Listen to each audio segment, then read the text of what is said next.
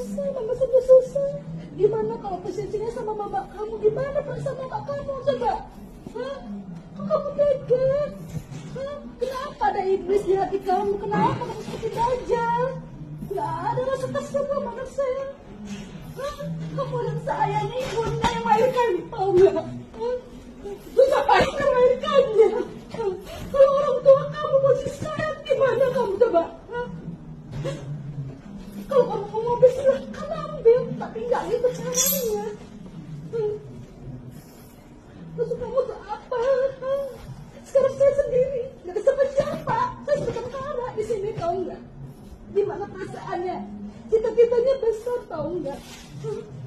Kamu dengan enak banget kamu mau menghabisi anak saya begitu saja. Gimana perasaan kamu? Hmm.